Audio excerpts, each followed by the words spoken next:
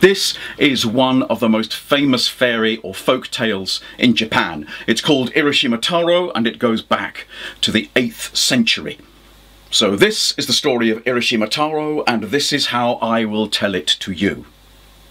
Long ago, in the ancient coastal town of Yokohama, there was a small, simple house. And in the small, simple house there lived a simple family, a young fisherman and his elderly parents, mother and father. And they lived simple lives in their simple home. And every day, Urashima Taro the fisherman would go down to the beach and push his little boat, his simple boat, out into the water. And he would go out and fish, and he'd bring his catch home, he'd sell most of it, and then take the rest of the catch and the money he'd earned back to the simple house that he lived in with his mother and his father, and they would share a simple meal together.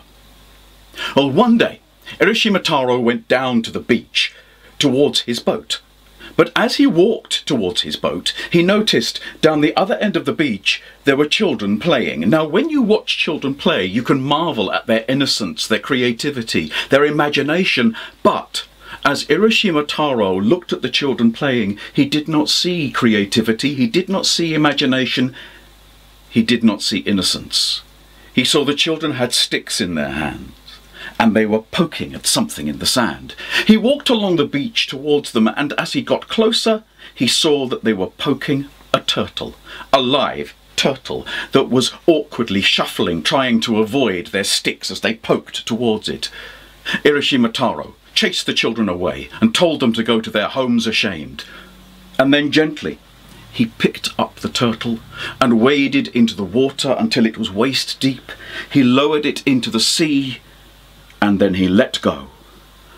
And as he watched the turtle swim away and go under the water, he thought he saw long streaming black hair, which may have just been a shadow from the turtle's shell. Well, Urashima Taro went back to his boat and pushed it into the sea, and when he was far enough out, he prepared his nets and his lines. But before he dropped them into the water, he noticed that swimming next to his boat, there was a turtle. There were two turtles, three turtles. There were turtles swimming all the way round his boat. He couldn't count how many of them there were. And then as he watched to his amazement, their hard shells transformed into soft, yielding bodies, their beaked faces changed into beautiful faces of women, and long black hair streamed from every one of the sea women. One of the women pulled herself up onto the edge of his boat and looked at Urashima Taro and said, Urashima Taro, Taro, you saved me. I am the daughter of the Dragon King of the Eastern Sea, and you saved me. And my father, the Dragon King of the Eastern Sea, would say thank you to you. So come with me. Come with me to the palace of the Dragon King of the Eastern Sea. And Urashima Taro said, I'm a human. I'm a man. If I go under the water for any length of time, I will surely die. And the dragon princess of the eastern sea said, Bear but a touch of my hand upon yours, and you will swim with me. And Urashima Taro reached out his hand toward the dragon princess, and she grabbed his wrist and pulled him into the sea. And as he fell from his boat into the sea and went under the waves, he fought for breath, and as he fought for breath, he felt gills opening in his neck and found that he could breathe under the water like a creature of the deep. And he looked around, and the dragon princess of the eastern sea was holding his hand, and surrounding them were her ladies in waiting. And they swam down, down to the bottom of the sea, where they came to the palace of the Dragon King of the Eastern Sea, a great structure of coral with beautiful gates of shimmering abalone shell, guarded by lobsters and other creatures of the deep. And as he watched, Urashima Taro saw every kind of creature of the sea swimming round, and yet there was no predator and there was no prey. Under the gaze of the Dragon King of the Eastern Sea, all could live together. And Urashima Taro was taken before the throne of the Dragon King of the Eastern Sea, and he bowed low. And the Dragon King of the Eastern Sea said, Urashima Taro, Irashimataro, you saved my daughter. Let me thank you. You are a simple fisherman. You live in a simple home and live a simple life. But here you will be a prince of the Eastern Sea. You will live in your own suite of rooms. You will have people to serve you day and night. You will dine from fine plates and drink from fine goblets. You will have the best of food and the best of drink. This is your reward.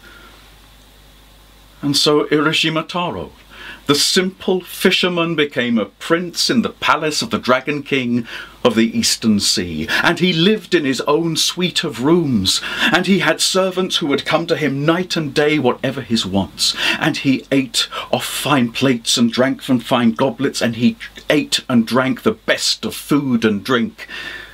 And in his suite of rooms there were four windows. Out of one window he could see Yokohama in the spring. Out of the other window, he could see Yokohama in the summer. Out of the third window, he could see Yokohama in the autumn. And out of the fourth window, he could see Yokohama in the winter. And so, whenever he looked out of the windows, he had a reminder of his home and of the simple life that he had left, a simple life that had been replaced by the life of a prince. And he stayed there, living the life of a prince of the Eastern Sea for three years. But after three years, Urashima Taro realized that although he had servants who would come to him day and night, although he ate the best food, the best drink from the finest plates and the finest goblets, although he had a suite of rooms, he missed his mother and father. And so he went to the Dragon King of the Eastern Sea, and he bowed to the Dragon King, and he said, Your Majesty, I have lived as your guest for three years, but I miss my mother and my father. It is time for me to go home. And the Dragon King of the Eastern Sea said, If you must go home, then you must go home. But we extend our thanks to you once more, Urashima Taro, and so that you never forget the three years that you spent with us in the palace of the Dragon King of the Eastern Sea, I present you with this as a memento and Urashima Taro took the black lacquered box from the Dragon King of the Eastern Sea, and he bowed. And the princess of the Dragon King of the Eastern Sea took Urashima Taro by the hand once more, and she swam back up up through the waters to the surface, surrounded by her ladies in waiting. And as Urashima Taro and the princess broke the, broke the surface of the water, they breathed in the air, and Urashima Taro looked and saw there was his boat still bobbing in the sea. And he climbed into his boat and leant over to say goodbye to the Princess of the Eastern Sea. And he said to her, Thank you for everything. Thank you for three years. Thank you for this memento. And the princess said, Urashima Taro, you have our thanks. But remember one thing, Urashima Taro. Remember the box that my father gave you. Never open it. And with that, she swam under the water, and all her ladies in waiting followed her, and as Urashima Taro watched, his boat was surrounded by turtles.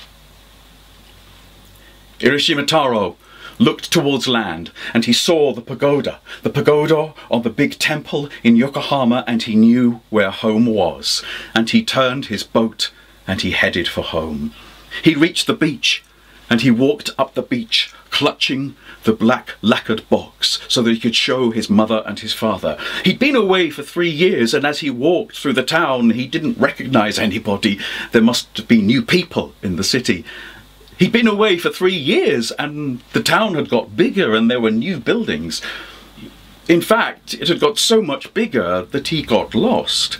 He was walking to where he knew his family home was. He'd gone up the street, turn right, turn left, turn left. Turn... No, it wasn't there. He went back to his starting point and he tried again. He went up the street, turn right, turn left, turn left. No, it still wasn't there.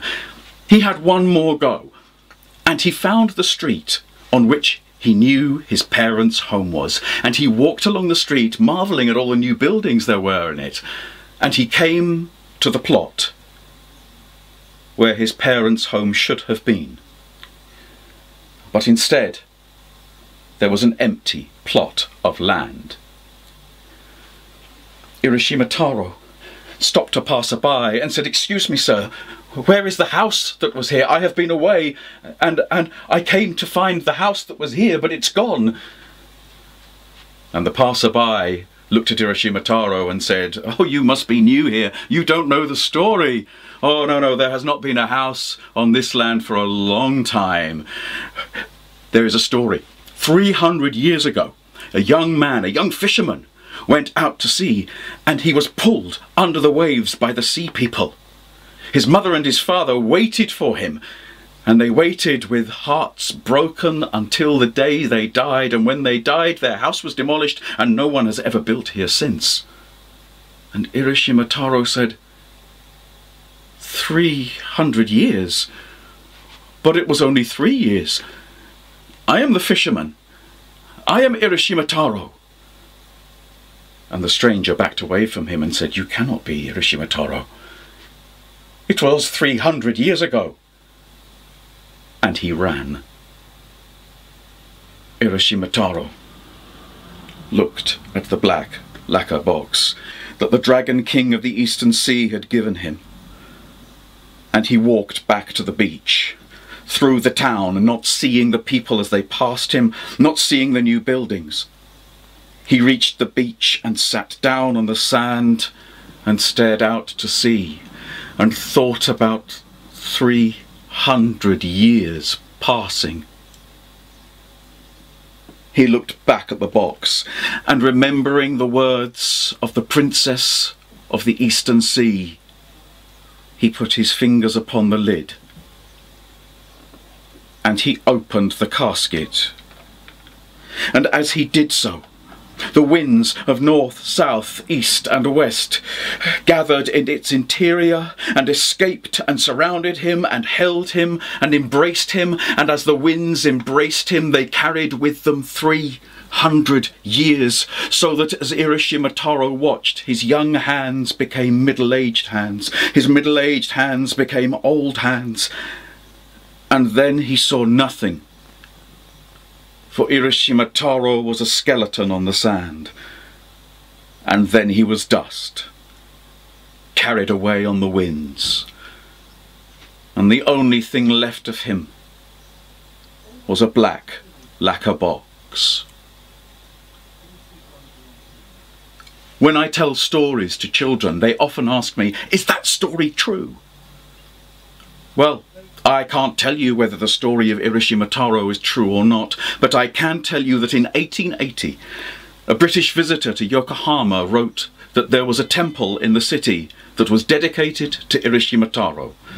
And in the temple, there were objects, there were artifacts, relics, and one of them was a black lacquer box, which of course no one would dare to open. And that is the story of Urashima Taro, and that is how I have told it to you.